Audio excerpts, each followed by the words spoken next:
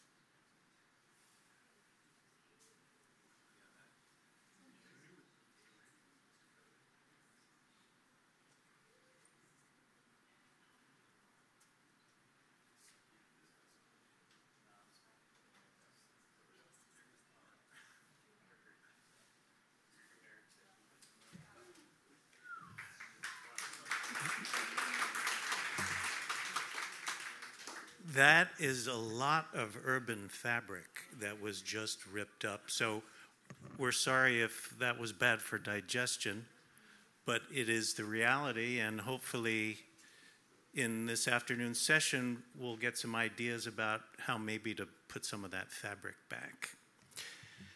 So to start us off, I, it is my pleasure to introduce Hank Gutman as the former New York City DOT Commissioner and uh, one of the great experts on the BQE expert panel.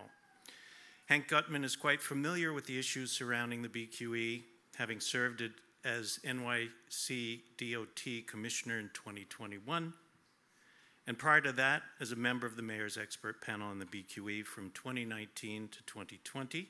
He currently serves as the chair of the Brooklyn Navy Yard, a position that he's held since 2014, and he's also a member of the board of the Brooklyn Bridge Park Corporation.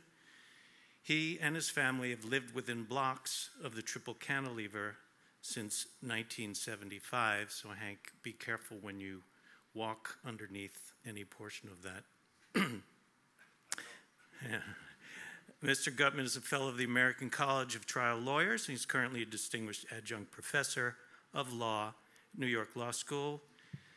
He also has an active uh, arbitration practice, and Mr. Gutman is a graduate of the University of Pennsylvania and Harvard Law School, which his parents are very happy about. And let me bring Hank up to start us off in the second half.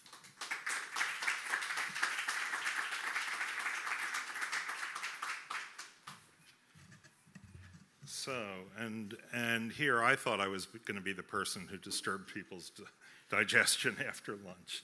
Um, thank you, Jonathan, for the kind introduction. Thank you, Janet. Uh, to friends and colleagues here, uh, it's a real treat to be here. And uh, I have to say that I thought I knew a lot about the BQE, but I've learned a lot uh, in the session so far today. So thank you very much uh, for giving me the opportunity. Now, I want to talk about three things today. Uh, vision, time, and transparency, and explain why I think the DOT has been falling short in each category, sadly. And I say this with regret. I have great fond memories of my time working with some distinguished colleagues there. But when it comes to the BQE, I think, I think they're letting, letting us all down. So, first, vision. At a time when our transportation policy is focused on reducing our dependence on private cars to move, people and on oversized trucks to move goods, why is the New York City DOT so blindly committed to rebuilding Robert Moses's interstate truck highway through increasingly residential neighborhoods of Brooklyn and Queens, bigger than before and strong enough to last another century? Seriously, ask yourself the question. And then ask yourself why they aren't asking themselves that question. All over our city, every day, we are shrinking streets creating bike lanes, open streets, open restaurants, bus lanes, busways, expanded crosswalks, loading zones, and broader pedestrian spaces. It's good for the environment, it helps fight climate change, it enhances safety, and it is essential to the quality of life in our city.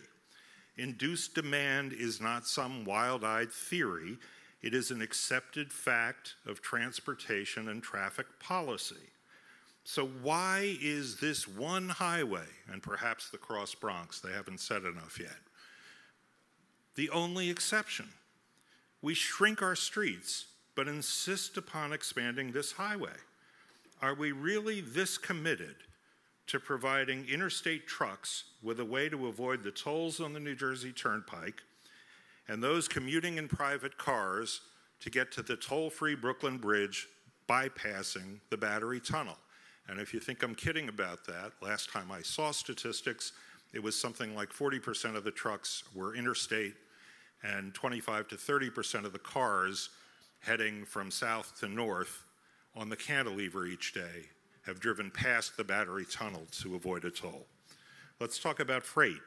It is embarrassing that New York City is substantially more dependent on trucks for freight delivery than any of our peer cities in the US, not to mention other great cities around the world.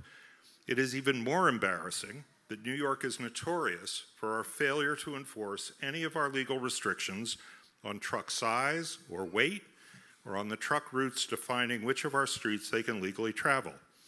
The dramatic increase in freight volumes due to e commerce and then the pandemic have only exacerbated the problem. Yes, we like to get our packages delivered and no, Jimmy Hoffa, we don't want our grocery shelves to be bare or our restaurants to run out of food.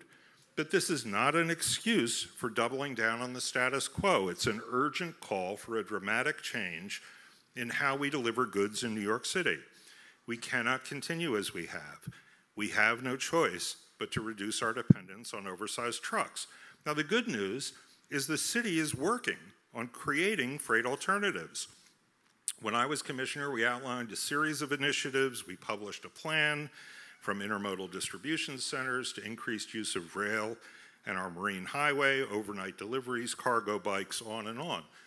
DOT is continuing that today. It's a priority for the new mayor as well. He has already announced the, a, new, a new cargo bike this week. Um, All of this is meant to reduce our reliance on oversized trucks for the last mile.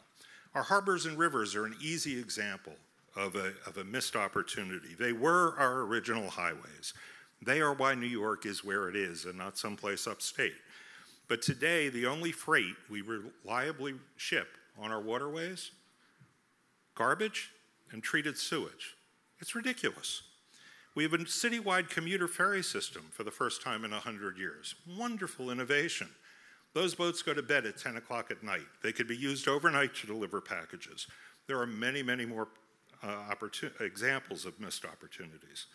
Now, this isn't some wild fantasy. There's federal infrastructure money available for everything I've just listed.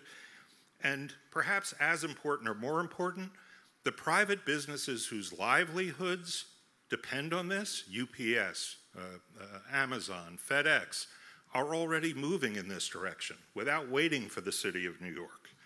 This isn't some crazy notion. It's the world we need to move to, and everybody else is moving in that direction. So, why is the New York City DOT betting that all these efforts will fail? That nothing will change in the decades ahead? And if they're really so convinced that we'll still need a truck highway uh, in 2053 or whatever, let me suggest the Belt Parkway. If you lifted those half dozen racist low bridges that Robert Moses put in, there's nothing wrong with using that for trucks. And by the way, it's a direct route to Kennedy, which is an important, probably the most important freight hub in the area. Now, the other vision deficit is in geography. Uh, we've heard from many people, more eloquently than I could do it today, talk about how, how sinful it is, how shameful it is that we ignore the North, BQE North and BQE South, that all this attention is spent on the middle. I mean, how, how can we possibly justify, in the name of equity, uh, spending billions of dollars on the cantilever in the one neighborhood which, as others have noted, was not divided by Robert Moses' highway because the community prevailed on him to go around it. How do you spend all of that money and not attend to the north and south? It's, it's, it's insane. And, and, you know, even if you can't solve all the problems, look at the ditches. We heard from speakers earlier today that there are terrific solutions that have been kicking around for years. Why aren't they on the agenda? Why instead are we just hearing about little beautification projects, things the DOT should be doing anyway? It was supposed to be 10 minutes, I thought. Okay. Things that I thought the DOT, I mean, sorry, I don't mean to ignore the prompt, but come on, give me a break. Uh, uh, you know, how, how, can, how can we ignore that when the plans are there? Why are they just saying, oh, we'll clean up under the highway and we'll put in some pedestrian access? Uh, and we'll build a park under the highway like anybody's actually going to want to go there. Give me a break. That is, the, that is the DOT equivalent of thoughts and prayers. When there are real plans out there. And yes, yes, I understand that the other portions of the highway are under the control of the New York City, uh, are not under the control of the New York City DOT, but the state. Big deal. Welcome to New York City. Are you new in town? There is almost nothing in the transportation space that doesn't require the cooperation of multiple different city agent, agencies, city, state, or otherwise, and multiple government authorities. That's the way it works in this town. And that doesn't mean you can't do it. That's not an excuse for throwing up your hands and saying, oh, gee, not my job. It is a challenge, to be sure, and it requires more time. It requires more time. Which brings me to the second deficit time. Even if there were a consensus plan for how to proceed today, and we aren't even close, there is no way the DOT could get that plan approved, designed, budgeted, and built before the cantilever section of the highway becomes unsafe for its current use. Here's why. In 2018, the DOT announced that unless the highway was rebuilt, by 2026, trucks, trucks would have to be thrown off and soon thereafter other cars. Our expert panel concluded that the 2026 number was an unduly optimistic estimate and that the real danger would come sooner. We're now halfway through 2023 and there is no plan. They, ain't, they aren't even close. Now, safety is a function of two things the structural integrity of the highway and the weight it carries. Both are issues for the triple cantilever. And I'm focusing on the triple cantilever, forgive me, because this is the only place the DOT is actually focusing their attention and planning to spend money.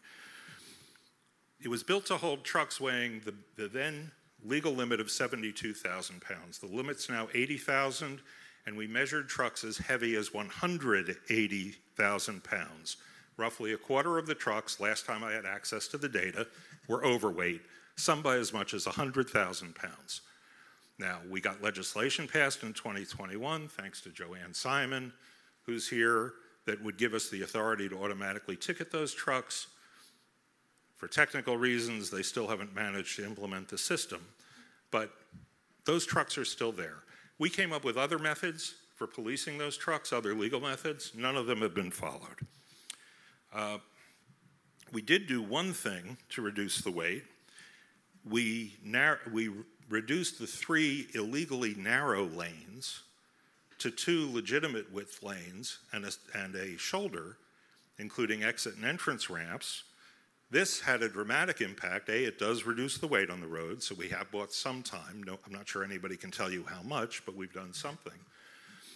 But it also dramatically improved the safety on the roadway instantly. Dramatic decrease in crashes because we had made it a safe roadway. Uh, as many of you know, there's a big debate now. Do we go back to three lanes? Blah, blah, blah. I mean, no. You don't have to. Why, why on earth would you expand the highway again? And by the way, if they do what I think they want to do, which is to tear it down and rebuild it rather than rehabilitate it, you then become subject to federal regulations which require it to be wider than it currently is, even at two lanes, and dramatically wider at three lanes. Why is this a debate? I mean, this is just silliness, especially when you factor in that in order to fit under the Brooklyn Bridge, it can't be any wider than it is now. So the bottleneck is there unless you're going to rebuild the Brooklyn Bridge too. I hate to suggest it, but you know. Um, so we've made some progress toward weight reduction, but then you've got structural integrity.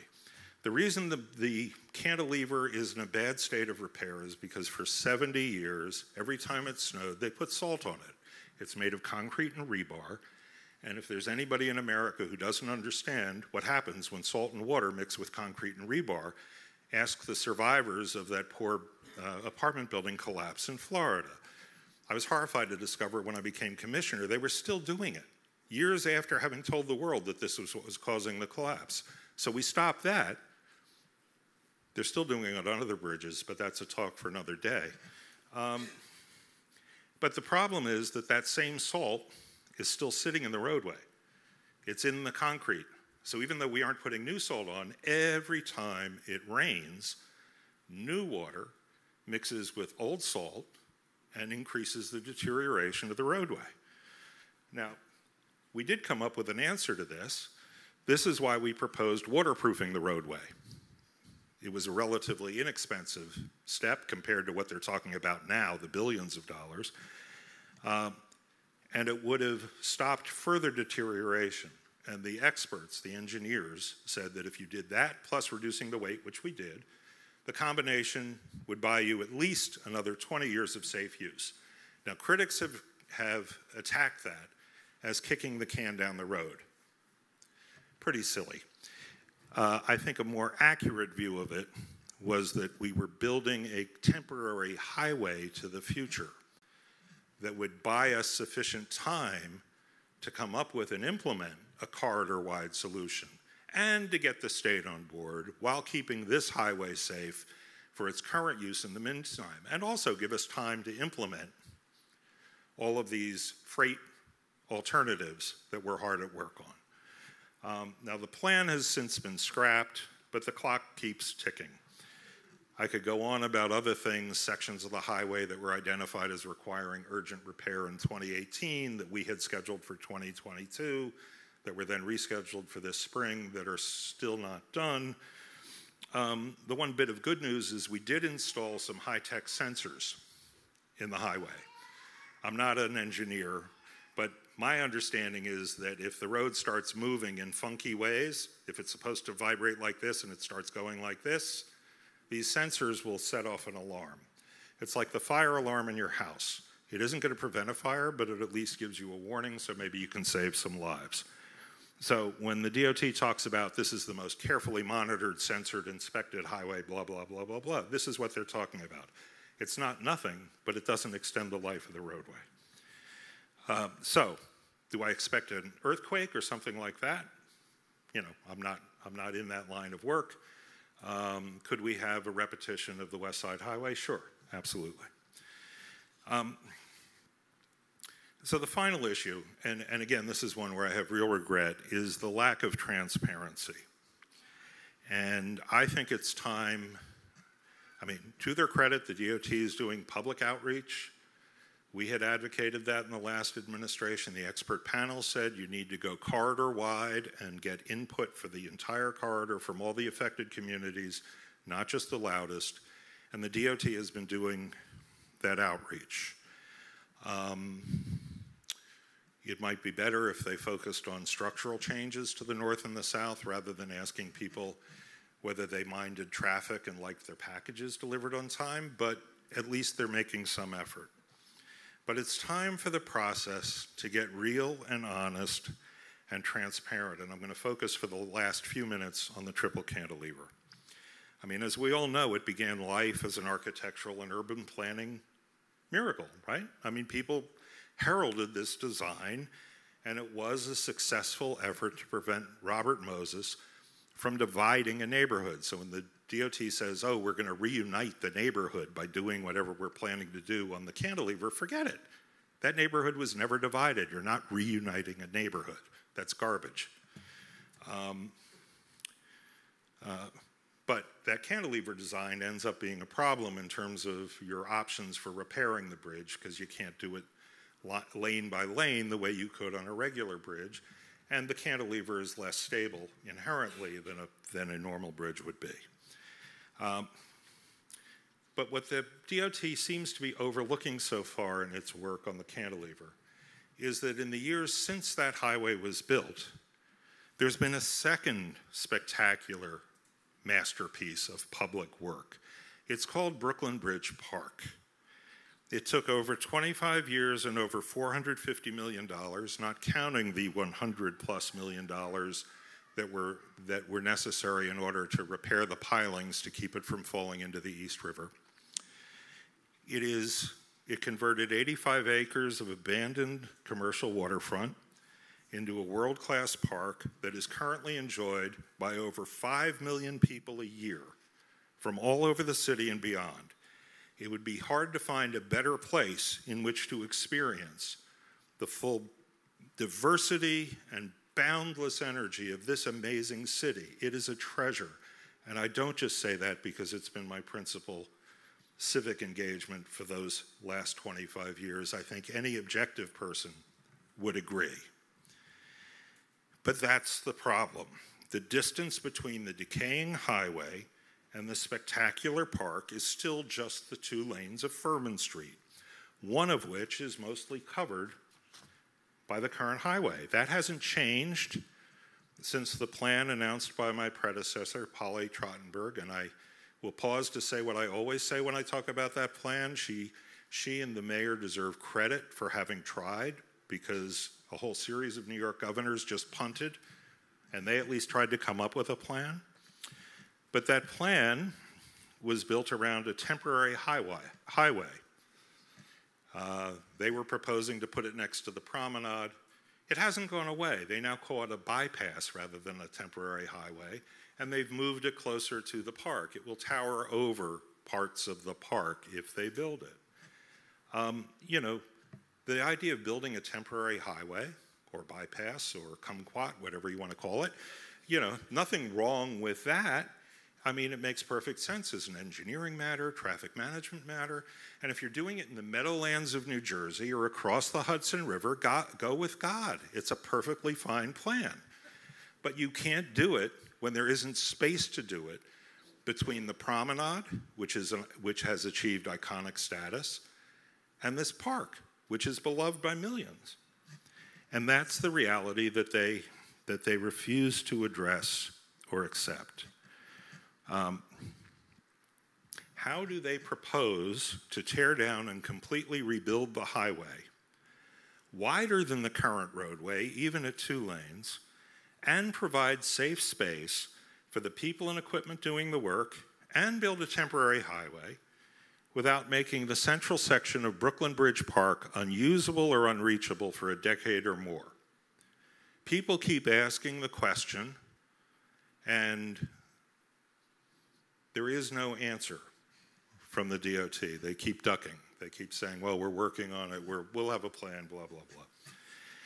They also, in the public outreach sessions so far, they've devoted all their time to offering up three fanciful designs for connections from the promenade to the park. If you look at them, they're lovely. They'd be great. I ask, where in Connecticut do you plan to put them? Because there is no way they fit in the available space. And if you tried, you would be building over significant parts of Brooklyn Bridge Park and destroying the promenade as we know it. Who, who on earth thinks that that is worthwhile even before you get to the billions of dollars it would take that should be spent elsewhere? Uh, again, nobody's asked them to redesign the park or the promenade. The world seems pretty happy with both as they are. What we need to do is fix the highway and to do it with minimum impact on any of these other any of these other issues. It's really in the end not an engineering question. It's a question of your values. And do you do you place interstate truck traffic and toll avoidance above protection of vital public spaces? Uh, I could go on with more examples, but I see that, that I'm running out of time. So let me just let me just say this in conclusion. It's not too late. We know from his public statements that Mayor Adams cares deeply about Brooklyn Bridge Park.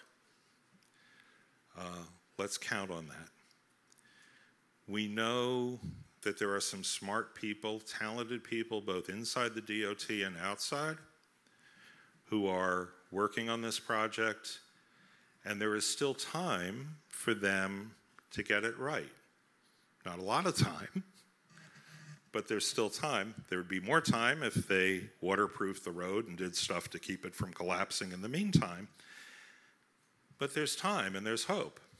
But the only way that's going to happen, the only way, is if the people in this room and our friends and our neighbors, people who love the park, people who care about transportation policy, people who care about architecture and public space, people who care about the good of the communities, people who care about equity, people who care about the environment, people who care about all those issues, keep up the pressure and don't let them just finesse this.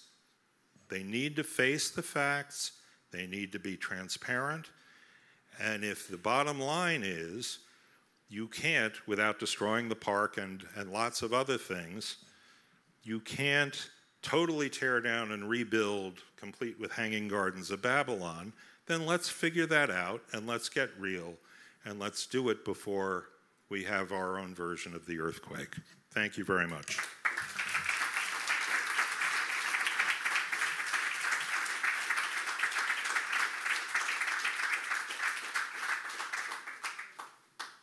Well, we are talking about BQE 2053 and um, our vision for the future, right? So,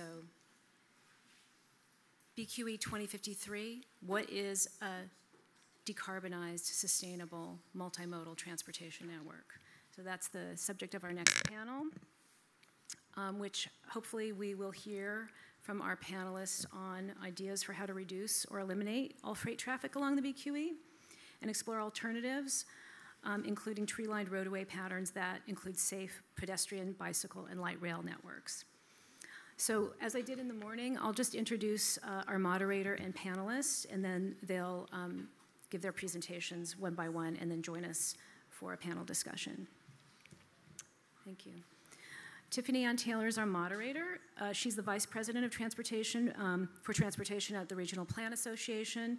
Prior to RPA, she served as Deputy Director of Freight Programs, Education, and Research for the Freight Mobility Unit at the New York City DOT, and um, also as an Assistant Vice President at the New York City Economic Development Corporation. Our speakers include Diniece Mendes, who is Director of Freight Mobility at New York City DOT, Walter Hook, who is the Principal and Vice President at BRT Plan, Zabe Bent, who is a consultant, and Yonah Freemark, who's a senior research associate in the Metropolitan Housing and Communities Policy Center at the Urban Institute. So Diniece is our first speaker.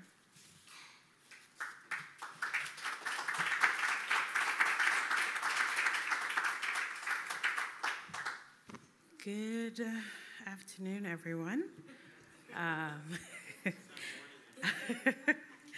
Um, so, uh, a pleasure to be here. I really want to thank uh, the IPA for extending the invitation. um, and uh, really want to sort of dive into some of the details. Um, I'll be focusing specifically on freight movement and a lot of the work that the city is doing uh, to modernize the freight distribution system, uh, as well as really think about how we're reimagining how freight comes into our region. Um, so I'll do some table setting and also talk through um, some of the broad uh, programs that we're working on um, and also some recent insights um, based on uh, activity on uh, the BQE. Um, so Hank really stole the show, um, talking a lot about some of his work, and it was really a pleasure working with him uh, while he was at the DOT. He certainly pushed and challenged us um, quite a lot uh, to um, really think about um, options for marine freight, and uh, he coined a term, Department of Transformation, um, and so oftentimes we do think about that quite a lot. Um, so hopefully by the end of this presentation, my hope is that um, you'll get a better understanding of the state of freight movement in New York City, um, understand some of the complexities in, uh, in terms of the network and the logistics network that makes up New York City um, uh, freight system. Uh, make a connection, particularly between consumer demand and sort of transportation, and how sort of the personal decisions that we often make uh, could have an impact um, in terms of the freight movement that we see today, um, and also um, just broader things in terms of what, what can be done. Um, okay, um, so I don't want to spend too much time on this, but the broad mission of DOT is to ensure that we have safe, efficient, uh, environmental responsible movement of people and goods. And so my role is really focusing on the goods part of that. Um, DOT has broad goals in terms of making sure that we have safe, equitable, um, responsible movement of people, pedestrians, cyclists, et cetera. Um, goods is a critical part of that, ensuring that we reduce congestion, balance all of those needs, um, more broadly in thinking about the city's infrastructure. Um, we really want to think about how we provide uh, folks with more options to get around, and really that is um, sort of the heart of um, how um, we think about uh, a lot of our work. Um, so, some context, and uh, Hank really um, hit it on the nail. We are experiencing increased demand on an aging infrastructure that is already constrained. We are not going to build our way uh, sort of out of these challenges. We really need to think about how we manage our infrastructure um, in a more sustainable manner. Um, and um, but you know, it's it's really important to think about um, the challenges uh, that we're facing today, and then also um, as we see that there's likely going to be about a 68% increase in freight activity um, between 2012 and 2045 on an already uh, constrained infrastructure. And so that requires us to really think critically about what's happening today and how we shift uh, and redistribute that demand. Um, so each city uh, really relies on a uh, safe um, and efficient uh, transportation system um, to connect people to jobs where they want to work, where they want to play, but also to get access to the goods that they need. Um, the World Economic Forum predicts that an increased demand uh, for e-commerce will result in about 26% um, delivery vehicles in inner cities by 2030. Um, and so freight movement is also very regional, right? It's not limited to New York City. Um, with a growing population here, um, we're seeing a lot of constraints uh, more broadly. And New York City is recognized as a global leader, um, particularly in this space. Um, I will advance the slides because I know we are running out on time. Um, New York City's freight and logistics network is uh, pretty constrained. Um, before the uh, bridges and tunnels that connected many of the, the boroughs, um, we really relied a lot on marine freight. Um, and so some parts of history can sort of repeat itself, and we're sort of returning to that. But we have limited access points coming into the city from over the Hudson. The George Washington Bridge carries about 30,000 trucks a day, serving all parts of New York City, but also New England as well. Um, and uh, you know, historically there's been an underinvestment in rail and maritime, and so we are really heavily thinking about how to um, distribute that activity. But I'd be remiss without talking about sort of the convenience that we've all become used to. The fact that we are ordering things online and expecting it to come within an hour, two hours. And what does that mean? That means that the infrastructure to support our convenience um, and the demand that we're seeing on our streets is really a direct correlation there, right? Distribution facilities are now being placed in communities that have been disproportionately um, impacted already. And so there's additional burden that we're also seeing and hearing, and we're thinking about how do we better balance and manage that, right? These facilities are being placed closer to communities so that they can get access to the workforce, but also to deliver to customers and to that demand. Um, so it's really important to think about that. Um, it's notable uh, that the concerns that communities uh, like um, the parts of South Bronx as well as Red Hook, other parts of industrial business zones and areas that are experiencing a lot more activity um, in general. And so we really need to think about more holistic solutions. I'll just really quickly talk about some of the activity that we've been seeing um, since COVID uh, on the BQE. Um, and so we looked at activity before COVID and then also after COVID to see the, the comparison. And by and large, we're seeing a lot um, of increased truck trips to industrial business zones that are along the waterfront, um, as well as some parts of Manhattan and other areas, right? So it's serving a regional component as well, but it's also serving local trips. Um, and we need to think about what that system needs to look like um, you know, based on broader um, operations um, in the city. And so the city, uh, as Hank alluded to, but the city is taking in a multi-agency effort uh, to explore viable alternative routes to bring in freight into the city, looking at ways to reduce truck traffic, particularly on the BQE, um, such as maritime and rail solutions. But the freight activity is not going away. We really need our stuff, and we still need to think about the network to get that. Um, so what are we doing? We released some strategic plans. Um, we are actively working on implementing those plans and scaling up our initiatives. It takes time, particularly because the freight industry, right, operates on infrastructure that has been maintained or and operated and uh, in, uh, built by the public sector, but it's mostly the, the, the, private sector. So really, there's that cross collaboration, there's partnerships that are needed, um, and really thinking about how do we create that change management within the industry more broadly. And so we released our broader Delivering Green, which Hank um, uh, so proudly um, touted at the end of uh, December 2021, that really encapsulates the work that we're doing uh, to ensure that we have a modern um, and strong multimodal sustainable freight supply chain. And so that plan is based on five pillars shifting more freight to rail, shifting more freight to water, greening the last mile, um, and making it more efficient, uh, thinking about sort of different systems to better manage that activity, and fostering a culture of compliance, which is extremely important. How good are rules if they aren't followed, right? We need to make sure that there's a system of compliance, et cetera.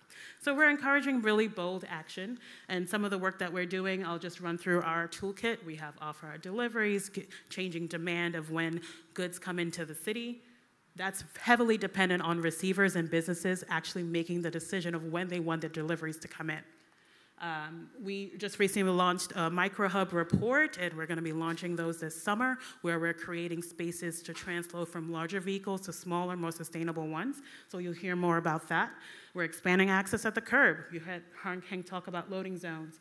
Mode shift is critically important. We also make to make sure that it's actually green, right? Marine freight could also, some of the diesel vessels could actually be more polluting than trucks. And so we need to think about electrification and broader alternative fuels as we think about mode shift. Um, we're doing quite a lot on cargo bikes. We launched a pilot almost four and a half years ago, and we're really looking at scaling that up. Part of the challenges that we're facing is we need to remove some of the barriers in Albany for creating uh, more competitive um, size cargo bikes to be able to to, to rival you know, other larger modes. Um, we have a very uh, successful clean truck program uh, that is ex expanding to industrial business zones citywide, where we're giving rebates and incentives up to $185,000 to turn out your older diesel polluting truck to a cleaner one. Uh, we're also developing a larger um, truck electrification strategy that will develop shared charging hubs as well as um, publicly accessible charging stations, really creating the infrastructure that allows the industry to transition and shift. Um, and most importantly, thinking about how we manage our network and our streets, right? Thinking about connectivity and the network. And then a safe systems approach is very critical. I heard some uh, initial thoughts about that. Thinking about the safety of the system is critical. Um, so I want to just really end on the fact, um, just some, some key points, moving freight forward um, requires um, quite a lot of education um, of the issues and critical elements to invest in the infrastructure to create a multimodal system. Um, ensuring regional coordination and regulatory harmonization is a critical part of that. Freight movement is governed by federal, state, and local regulations. And so when we think about some of the things that we need to do here and within the city, it may require a change at the federal level to really see the impro improvement uh, here in the city. And so building consumer awareness is also critical. We want to make sure that we enhance the importance um, of private sector partnership, um, and uh, again, this is a once in a lifetime generation for us to leverage infrastructure funds from the bill, the bipartisan infrastructure law that was passed. We are actively thinking about that and thinking about investing in building out the marine infrastructure and the rail infrastructure as well. Um, so I want to end there, and I thank you so much for your time. I will pass it over uh, to Tiffany, um, I guess, or the, the next speaker, uh, Janet. Oh, Walter, sorry. Thank you.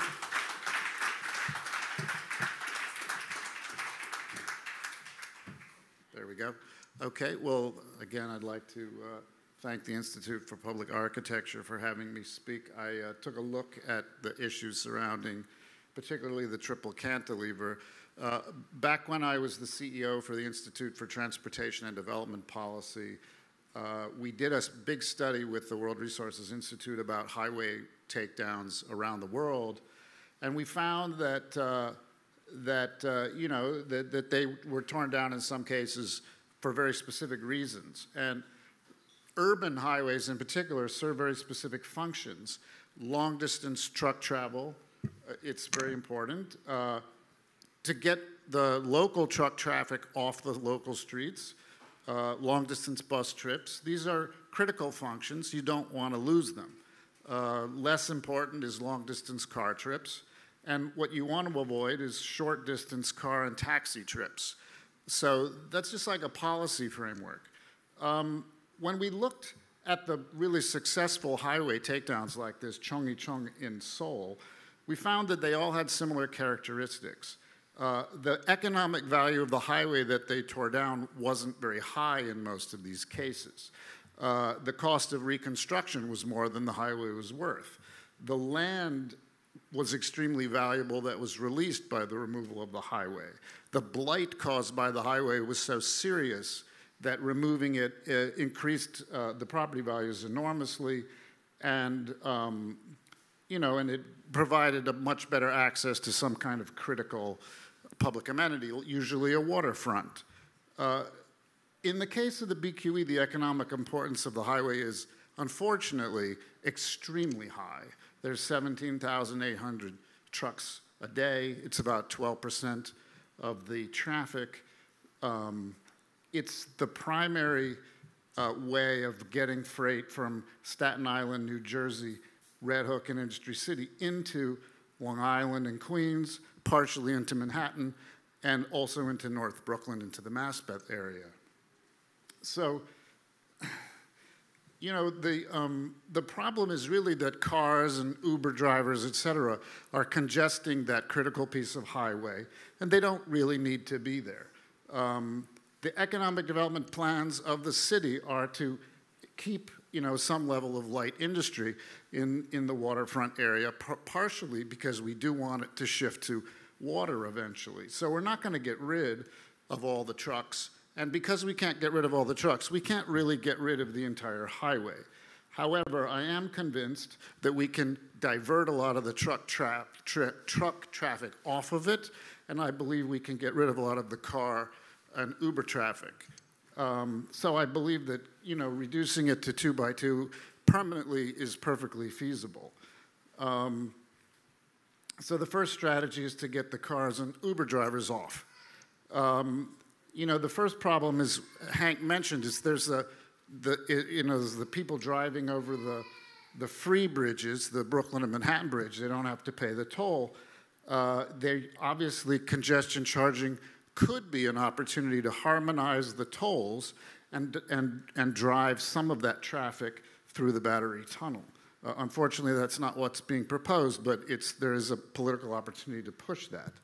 Um, congestion charging on the BQE itself seems like a logical next step for congestion charging. I mean, it's a congestion charge. You should put it where there's the congestion. And, you know, this is one of the most congested pieces of infrastructure in, in the country. Um, some of the access ramps and, and egress ramps from the BQE are not that critical. Uh, the one at Atlantic Avenue is not particularly heavily used. It's particularly not heavily used by trucks.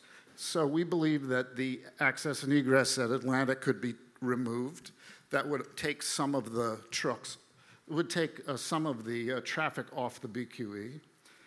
Um, it's currently, there's no intercity bus services, that, sorry, interborough bus services. I believe that adding inter, interborough bus services would uh, also make it easier for people to leave their cars at home instead of taking Ubers. We could run, and there are plans for some uh, express bus services over the Williamsburg Bridge that would connect Queens and outer parts of Brooklyn into Manhattan. There's no reason we couldn't be running buses over the uh, longer distance buses uh, into Manhattan from Brooklyn. Um, Hank mentioned this, and I think it's absolutely a good idea. A lot of the truck traffic that's going into Queens and Long Island could be diverted onto the Belt Parkway. Now, admittedly, it would require reconstructing parts of the Belt Parkway, but it's really not that many overpasses. And, um, you know, this is uh, Robert Moses uh, heritage stuff. The only reason you can't drive a truck down it is because Moses kept the overpasses too low to allow buses to go down the Belt Parkway for, you know, historically racist reasons about getting to the beach. So I think that, that opening the belt up to trucks would uh, alleviate a lot of that tension. um, again, the congestion charge by equalizing it, giving the discount for, uh, for the battery tunnel so that the, the, so that the tolls are more or less equalized, should redistribute a lot of the truck trips also through the battery tunnel. Um, I think that we should also be demapping some of the truck routes that are, that are killing the most people in, in New York. I know that the Metropolitan Avenue and Grand Avenue, right through the middle of Williamsburg, you know, I've known people who were killed there at, at Metropolitan and, Gra and Graham, and, you know, it's destroying these neighborhoods, and the trucks are backed up for miles. I get that they need to get on the trucks, but you should be improving the Morgan Avenue and the Flushing Avenue accesses for trucks. Uh, I think that we could demap the Atlantic uh, to, uh, to the BQE section, which is currently a long distance trucking route. There's no real need for it um, that would allow us to redesign the lower part of Atlantic to increase public space and make that connection much nicer. Absolutely shift what we can to uh, waterfront freight and marine, but I don't know how much that's really going to do, but it's definitely worth a shot. Certainly the, the connections across the BQE could be radically improved. I mean, obviously we shouldn't reconstruct them all, but some of them are really, really critical, and they could at least be made halfway decent. I mean, anybody who lives in Williamsburg has walked down Metropolitan Avenue to go from East Williamsburg to Williamsburg, and there's like trash everywhere and you know water pouring down. It's just horrible.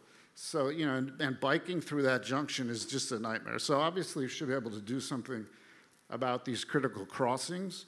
Um, I've, I've got this idea of, of turning Grand Street in Williamsburg into a greenway and putting a bike ped bridge over the BQE to connect, uh, because the Grand Street uh, bike lanes are really terrible, and the highway is slightly submerged there, so you could create this kind of greenway.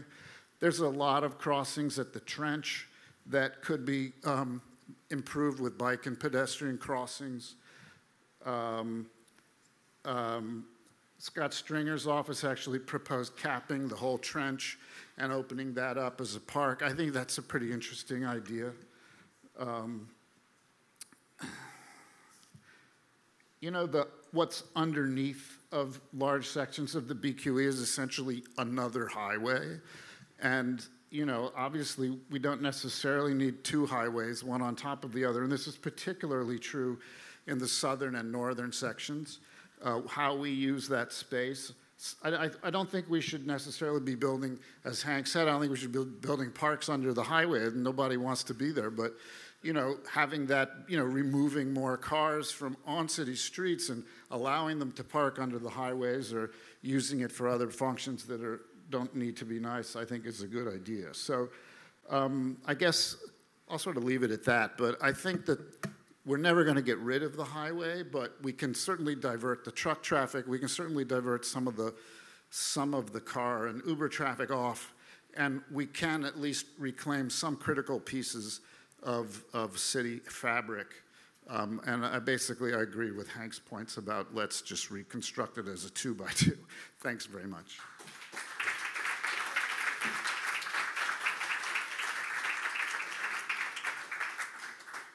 Hi, folks. Um, hi. awesome. Uh, I love that. Uh, so I'm Zabe Bent. Uh, I have no slides. I'm actually going to try to just talk to you all for about five minutes. Um, but before we do, I've met some of you, but not everyone, and, and certainly not a lot of you. So who here is an architect? Okay. Uh, a planner? Engineer? Ooh, so few of us. There's like three, three engineers in the room. Okay. Uh, activist? Everybody should be raising their hand right now because everyone wants something to be different. So there we go. Um, how many people live in the corridor? Okay, fewer. And in Brooklyn at large. All right, that helps me. Hopefully, it helps some of you. Queens, yes. That's, I mean, yes, of course. Thank you, Elizabeth. Uh, so, my name is Zabe Bent. I am a planner, an engineer, and a designer. And I work on multimodal planning and, and urban development for many, many years. Um, and because of my training, I like to think that I can talk to planners and engineers and architects in their own language and hopefully translate that for normal people. And I mean that in every sense of the word. um, so I would say, however, that um, my training is one part of, of sort of who I am as a, a planner and an urbanist. And I really started in childhood when I would spend my school days trying to get to the park or playing in the parking lot behind my building and I wasn't able to do it. You know, there was always something in the way, and a lot of times that was a major arterial or a highway or a highway on or off ramp in my case. Um, and throughout childhood and still now, the streets that provided access to some people really cut me off from the parks, from my school, uh, from my local bodega. it was just constantly something that I was trying to traverse. And it really sort of galvanized me to become the person that I am today and to, to sort of drive the work that I do. Pun not intended, sorry about that one. Um, but connecting the divisions and sort of correcting those divisions was really the thing that drives me um, at this point. And most people, who's heard of NACTO? Awesome. Some, some of you know me then. Um, so I was most recently at NACTO, which is an organization that hosts DOTs as members um, across the US and Canada. And I worked on an update to the Urban Bikeway Guide. I worked on a resource for using streets for pandemic response and recovery. And also a massive call to reframe uh, what's sort of an engineering Bible in our, in our world, the MUTCD. Who's heard of the MUTCD? Hopefully no one. Oh my gosh, okay. Lots of nerds in the room, love it. Um, but really trying to change the, the systems, not just individual projects, not sort of making changes on the margins, but really looking at deeper changes. And it's interesting that I'm sandwiched between Walter and, and Yonah because they have very concrete ideas about what to do next. And I really want to take a step back and say, let's rethink what we're doing here and make sure that we understand that, how we're getting to the future that we want to see. Um, and so I wanted to talk about some of the other projects that I've done. Again, I'm known as a street designer, but I've also worked on major transportation projects, traffic studies, uh, San Francisco's first congestion pricing study, um, and sort of at the tail end of the Octavia Boulevard, who's heard of that project, uh, which is a conversion from the double deck freeway, Central Freeway in San Francisco, to uh, four lane boulevard. Worked on another toll road project, um, trying to turn that into a parkway, and it went nowhere. um, and part of this is it takes a long time to get these projects off the ground and a long time to really understand what are the impacts of the sort of big future vision that we want to see? Thank you. And a lot of times people don't understand what the impacts are. And I've worked on a lot of infrastructure projects in the last 20 years, and so I want to first ask, how many people support the idea of a trench or a cap for the BQE? What? Come on, more hands than that. okay, cool. Um, and how many people understand the impacts of a trench or a cap? How many people feel like they, aha, lot, less hands, far fewer. How many people support taking it down altogether? How many people feel like they understand how much traffic will be on their streets? Fewer hands. and that's kind of the point. I think one of the things we have to start with is really understanding how much demand is going to change and how much space is going to change and how much use of that space is going to change before and after a project. And as we were talking about transparency um, earlier, we often don't feel like we get the transparency that we need from city staff or from state staff.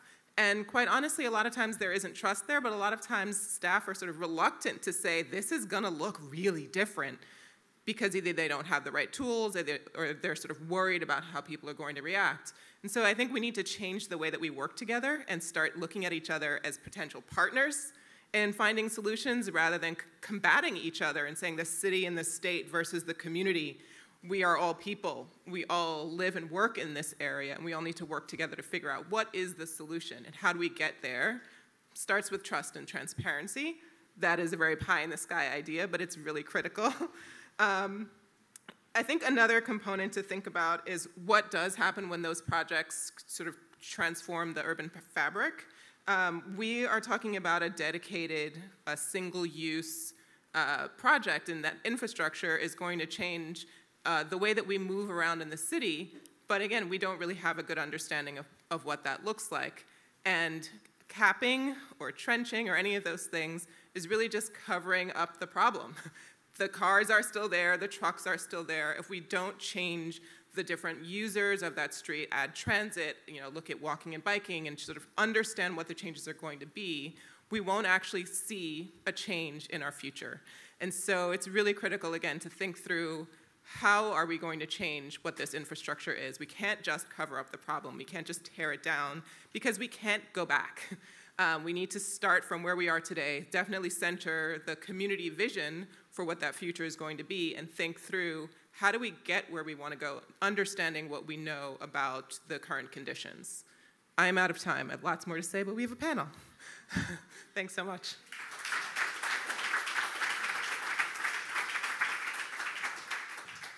Hey everyone, uh, great to be here. Thank you so much for the invitation. Uh, my name is Yonah Freemark, and I'm a researcher at an organization called the Urban Institute. We're a nonprofit research organization in Washington, D.C.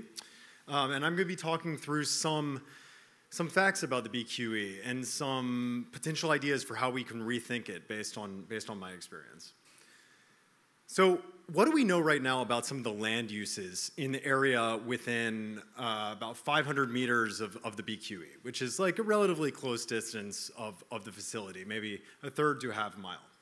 Well, I looked at all the land uses among the, the parcels that are in those areas, and I divided up among a number of different neighborhoods Bay Ridge, Sunset Park, South Brooklyn, downtown Brooklyn, Greenpoint and Williamsburg, and, and the Queens section of the BQE. And one thing that I found pretty remarkable is that there's a lot of, actually a lot of underused land. And I think that there's a good reason for that, which is that being near the BQE to a large degree is not an appealing condition People don't want to be near it. And I'll give you some examples of why that's the case. but this raises some fundamental questions that I think follow up on what Zabe said, which is what is the city that we want to have in the future? Do we want a city that is defined by the highways, the sound and noise, and the air pollution that comes from it? Or do we want a city that's defined by a different way of living that's more about livability? And fundamentally, we have a problem right now, which is that there are huge sections of parking and transportation land located in areas very close to this facility.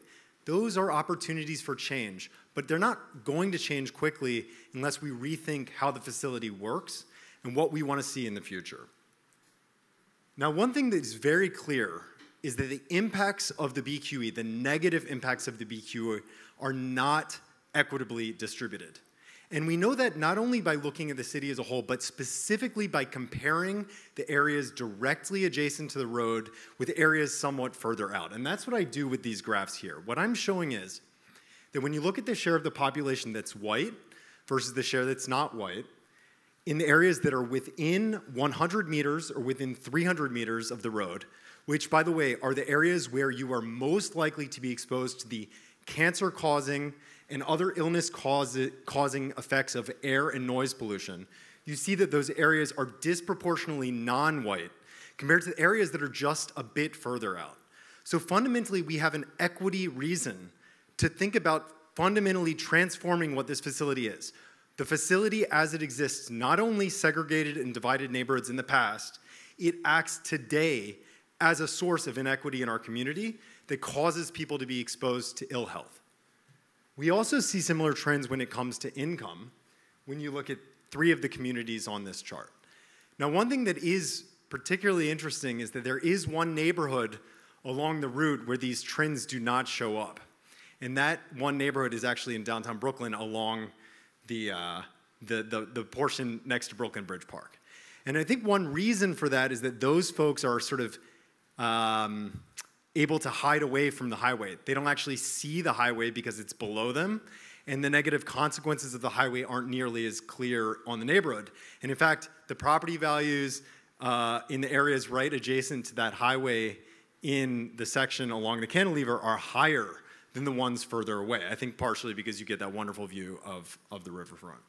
But that suggests that fundamentally the design of the highway plays a major role in impacting who lives adjacent to it, how much money they have, you know, whether these are neighborhoods that people uh, of a diversity of, of different backgrounds want to live in. Now, I looked at property values explicitly.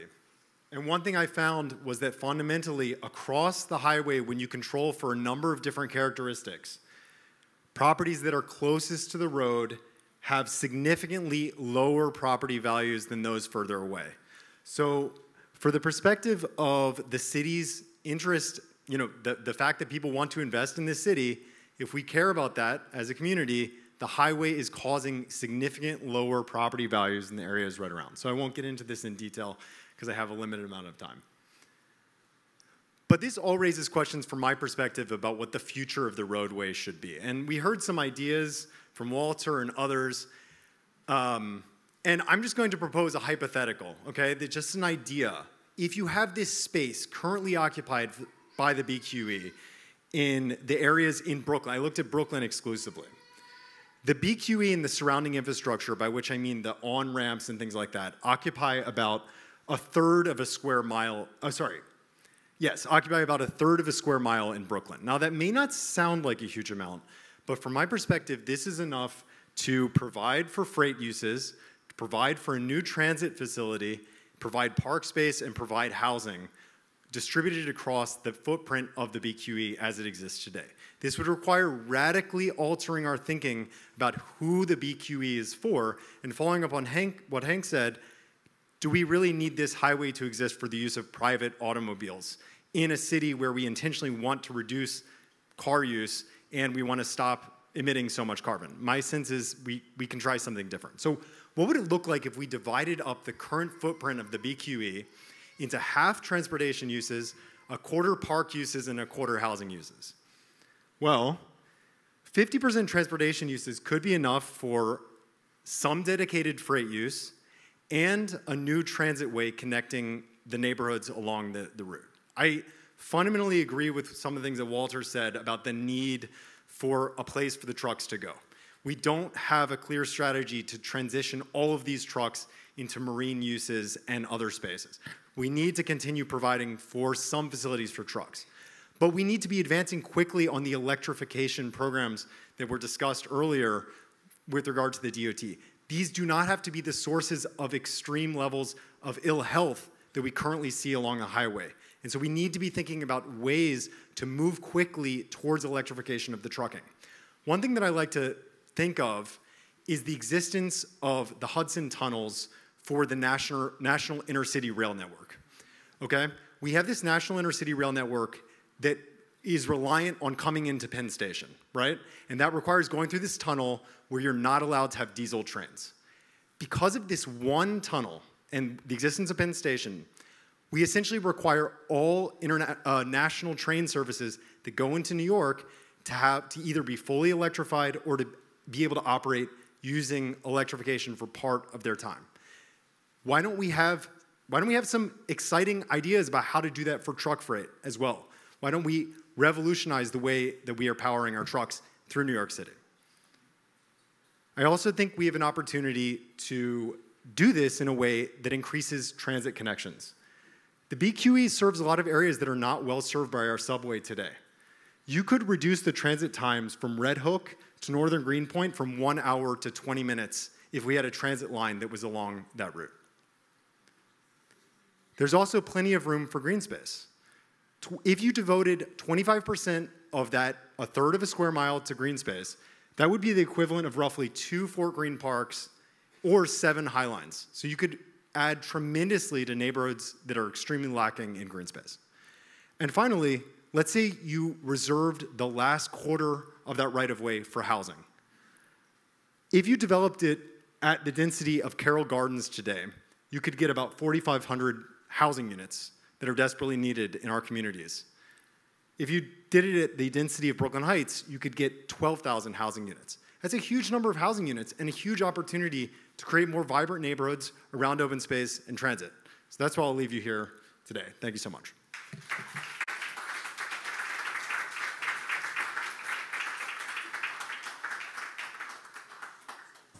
Hello. Ah, yes. Hi. Good afternoon, everyone. Okay, I'll try it again. Good afternoon, everyone Thank you. Thank you. I know it's late in the day and it's a little warm and it's rainy, um, but I really appreciate you all sticking around. Um, I'd actually like to start with a round of applause again for our wonderful presenters today. Um, I know I learned a lot. Um, you, you heard a little bit of my resume earlier. Um, before, I am a former city employee, currently at RPA now, and I still learned a lot, so thank you very much. Um, and I'd also like to thank IPA for inviting me to participate as well, and I actually really appreciate um, the intentionality in making sure that there's been lots of representation um, just as in terms of demographics of, of speakers, their level of expertise, their areas of expertise. So I really appreciate the intentionality and diversity of that. So I want to be really mindful of time, um, and I'll be uh, reading my notes here. I promise I'm not texting anybody. Um, but I'm going to change the order up a little bit on the questions. So I'm actually going to ask um, probably about three questions to all of you. I'll call of you ahead of time, um, and then we'll save some time to make sure that the audience can ask questions. And if there's any space afterwards, I have more questions to ask. So this is for everyone. I'm going to start with Diniece. Uh, so the BQE has disconnected the fabric of many neighborhoods along the corridor. Recent design proposals call for the network of fragmented parks and community spaces to be rejoined. Now, imagine it is 2053.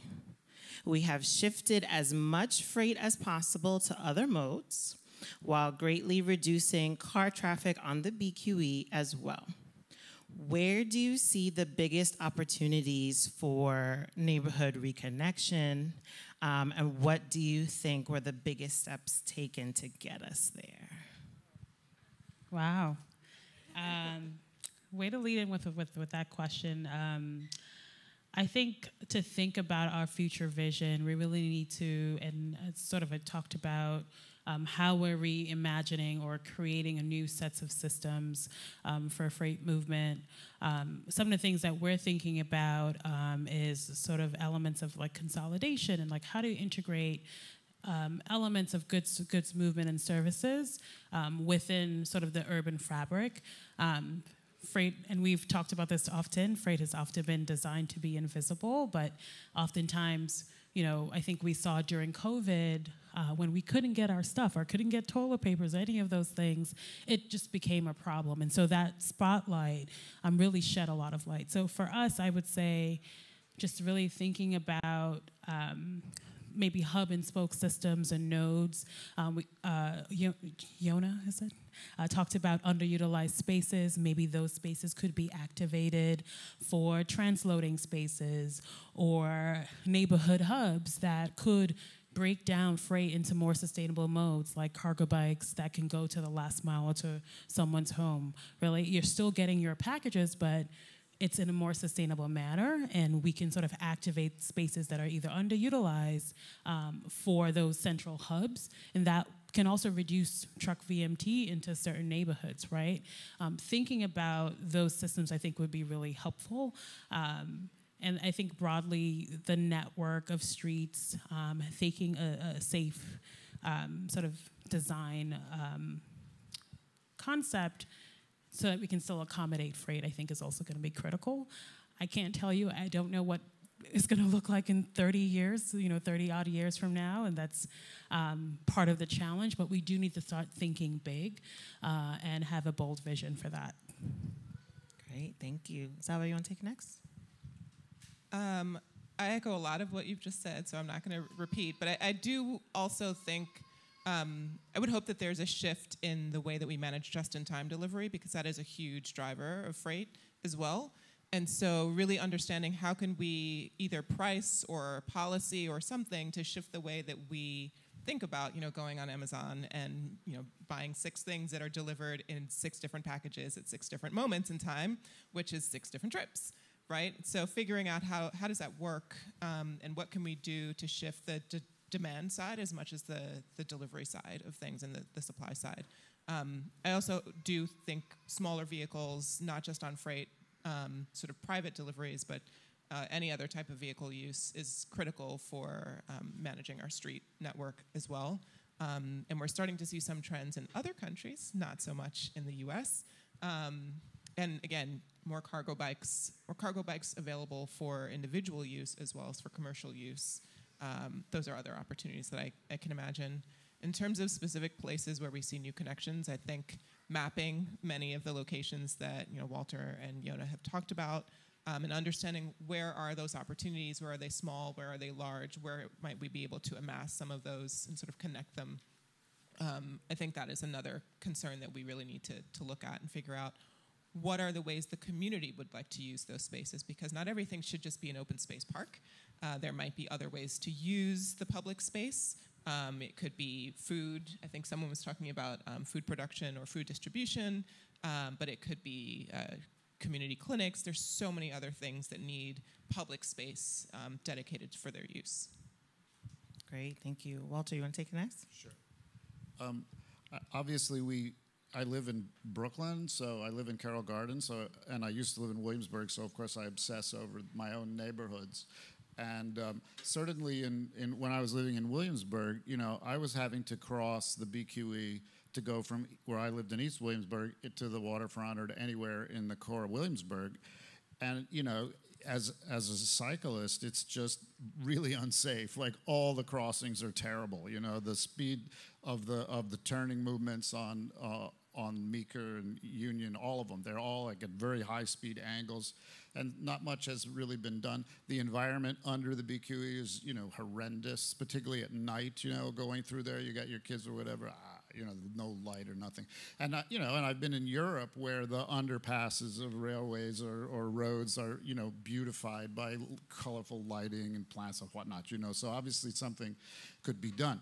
Obviously, Red Hook is really cut off by the BQE, and you know that it's almost impossible to cross into Red Hook, which is now got a stunning waterfront in multiple locations, so con- reconnecting under Red Hook. Uh, Industry City is is this massive growth point, and to get there from the R train, you know, you're walking under this stuff, and it's really horrible. And and you know, I think that the city's led with on the 14th Street uh, busway. It's also open to trucks, and I think that kind of truck and bus combination, we can use that a lot more places in the city. You know, HOV plus truck on on a lot of the bridges and tunnels. Uh, that that's a, a tool in the toolkit that I think has a lot of potential. You know, I would say I'm the only New York non-New Yorker here, so I don't want to uh, overstate my uh, welcome by saying that one neighborhood is more important than another. But you know, I think one thing that I'm hearing from this conversation is that we need to be thinking at different scales on addressing this issue. We have fundamentally a actually it's a national problem when it comes to decarbonization of our transportation system and specifically the freight transport system. We have to address that nationally. Unless we start doing that, we're going to have I mean, we, we already have problems related to highways everywhere. This is just one example of that. Then we have the local level, thinking about the BQE, but then we have the street level, where we were talking during lunch. Fundamentally, we have all these competing demands for our street. We have people who want to park. We have, uh, you know, the, the shared bikes. We have uh, garbage containers, and now we have deliveries happening all the time. We need to do a much better job in thinking through how to organize those uses so that we can shift successfully into more cargo bikes, small scale truck deliveries, and things of that sort. And we need to be doing all these things at these different scales simultaneously. So it's, it's a lot of work for planners to be thinking about right now. Great, thank you all. Um, so I don't know about you, audience, but what I heard was we actually have a lot of these tools available to us today, right? I think that's what I heard. Okay, just checking. Great. Okay. No, I'm a funny host. You can laugh. It's fine. Um, okay. So next question. This is for everyone. I'm going to switch it up a bit so that everyone can answer. Um, and Yonah, I'm actually going to start with you. Um, so, given your respective areas of expertise and what you know about the challenges put forth by the BQE, what would you say are the biggest obstacles in making substantial changes towards a more decarbonized and sustainable transportation future? Or I will put forth what are some important stakeholders you need to be able to answer that question. Well, I, you know, I mean, just talking through the conversation today and thinking about the reconstruction problems we have, learning from Hank about the realities of what it would take to actually rebuild the cantilever leaves us in this sort of impossible bind, right? In my view, the idea of building a giant temporary expressway over Brooklyn Bridge Park or something like that is insane and, and not feasible either. I, I don't see that happening.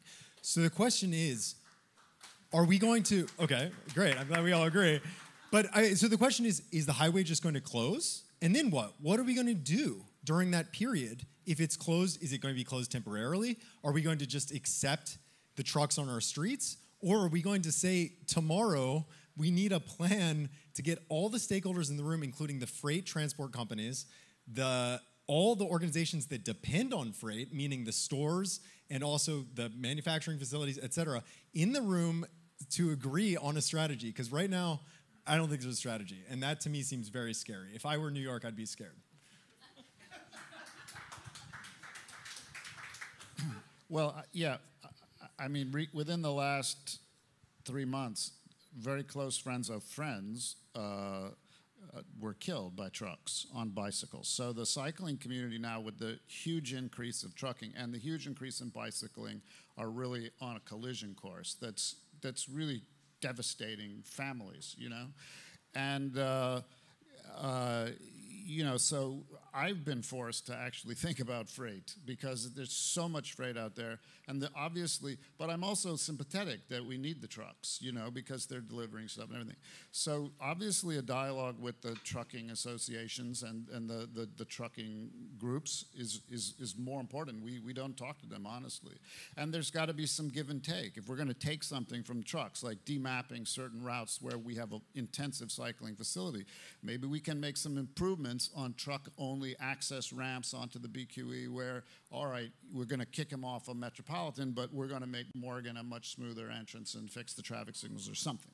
You know, so I think that dialogue has to happen. Um, absolutely. Obviously, uh, uh, those are the critical ones that came up for me. Yeah, um, I first want to say condolences to the family members uh, uh, that that uh, tragically lost their lives. Um, it certainly is something that sort of weighs heavy on us, particularly when you're in this space. You're trying to make a lot of improvements in terms of safety and all these other things, um, and the task is gigantic, right? It's it's enormous and. Um, part of that is also thinking about technologies advocating for better safety ratings for vehicles and that goes all the way up to the federal level right we need to see uh, whole system changes in terms of freight the vehicle design right? We're doing quite a lot of work in dot and, and at the city level to redesign our streets make it safer for all road users. Um, well we still need to think about other elements to improve safety, right? So either vehicle technology, uh, uh, blind spot awareness, and, and sort of that type of technology can be really helpful in reducing fatalities and, and, and those elements. Um, but I do, um, I do think that um, it is important to think about trade-offs, right? Um, particularly as um, when we designate, you know, truck routes on a particular corridor or street, we're looking for wider roadways. We're looking for roadways that can accommodate certain, you know, maneuvers and things like that. Those are often the spaces that we use to redesign to accommodate bike lanes and other things, uh, just because there is the space. Um, and so we have to think about the trade-offs. We have to think about how to balance, and to your point, um, all of the demand that, that we are seeing. And it requires levels of action at the local level all the way up. So, you know, it really is, um, there's no one size fits all strategy. Like we have to do all of these things together to move that forward. Um, I think there's too much disconnection between the policy levers and the scenarios that are being run, quite honestly. I think if we know that some scenario only works with congestion pricing, then we have to make sure that people understand you need to advocate for congestion pricing sooner, faster, now, right? Like these things are connected. If we know that, you know, people would toler- better tolerate truck routes in their neighborhood if trucks were quieter, then we need to advocate for vehicle changes. The policies and the strategies seem to be very disconnected, and then people don't know how to advocate for them, and they also don't know the impacts of the scenarios themselves. How much additional traffic in the neighborhood? What can we do to mitigate the impact of that traffic, if not the traffic itself? What does it look like? And right now, we're having separate conversations about those things rather than uniting them all. Excellent, thank you. So we have 60 seconds. I'm gonna go. Okay, lightning round question, short answers only. What do you want the audience to take away from the panel, Zabe? Uh, think bigger, think newer, think innovative. Don't just do the traditional thing and work together. Um, I would say there's value in partnerships, and the industry has to be a part of the conversation. Oftentimes, they are not part of the conversation, and we're actively thinking about that. So I, that was more than one word, but sorry. I, I think uh, congestion charging on the BQE, uh, harmonizing the, the tolls across the East River, and uh, opening up the Belt Parkway to trucks. That's, that's kind of an out of the box idea that I think has got some legs. Uh, you know, I would pull on all those things, and I would say one thing that I heard that I think is really valuable is we can't just cover up the problem and pretend like it's not going to be there anymore. You can't just put a cap on the highway and then pretend like the problem has been solved. It hasn't been solved. So I hope we can think bigger than just a cap. Not that caps aren't great. We need to do more. Amen. Okay, thank you, everyone. Okay, so we have time for audience questions. Um, so, yes, on this side. Great. Uh, hi, guys. Um, so we mentioned kind of like uh, some the toolkits that are available now, um, and I kind of want to combine that with uh, this question is going to be directed towards Diniece, I think, about um, fostering that culture of compliance. And I, my question is basically like, what are the actual concrete steps to get there? Because um, I think it's very low hanging fruit to have enforcement. And to be quite honest, uh, the NYPD is completely dropping the ball. Everyone knows this. On top of siphoning billions of dollars out of the city budget, they're not doing their jobs. And I think there's some really good uh, proposals out there to get that enforcement into the the uh, DOT's hand, um, and uh, on top of that, I think it also comes from design. Like these loading zones are not good. They're not good enough. We need paint on the loading zones. There needs to be bollards. There needs to be, frankly, bigger signs to let people know this is not parking. This is this is a loading zone. Do not come in here. Um, so I'm wondering uh, if you could talk about like the actual city's plans to foster that compliance. Yeah, that, that's a great question. It's something that we've grappled with for, for quite some time, and um, understanding that sort of you can't really be everywhere at every time to cover all parts of the city, and so that requires a technology solution. And so we are actively thinking about what types of sensors could be installed to measure off-route truck activities, to measure, you know, oversized trucks and like where they're going. And so um, but I think the most critical part um, and some of the challenges that we face is that in order to give sort of a, a ticket to um, you know a truck operator or whatever, like you need to be able to sort of pull them over, right? And so uh, as you know we, we heard at the beginning, you know, the BQE um, pilot um, that we're looking and we're very ambitiously tr- trying to like get off the ground is we actually went to Albany to get approval for that right? We've uh, been successful, I think, in New York City to expand authorization to be able to enforce some of our rules with automated enforcement and technology, right? So speed cameras has been widely um, instrumental in helping to reduce speeds on corridors that have been really dangerous, but also change behaviors, right? And so we see the opportunity to actually expand our authority, but requires going out after Albany and, and getting the support either from elected officials and also from constituents just like yourself, right? We need that advocacy to be able to support those policy changes to, to enable us to be able to do that more effectively. And so that's part of our vision as well. Great. Other question? Oh, I see one in the back. Yes.